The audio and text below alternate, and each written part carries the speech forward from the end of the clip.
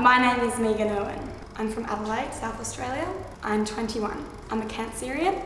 I love the food in Sydney. Um, I'm a vegetarian, so mostly just vegetables.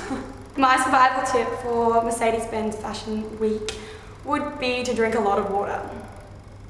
I can't show you my dream from last night. At Fashion Week this season, I can't wait to get on the runway. The first time fashion left a real impression on me. Um, I think ever since I was younger though. My mum was a model, so it's kind of just always been in my family it's always had a big part of my life. I wasn't really discovered in modelling as such, I kind of just fell into it.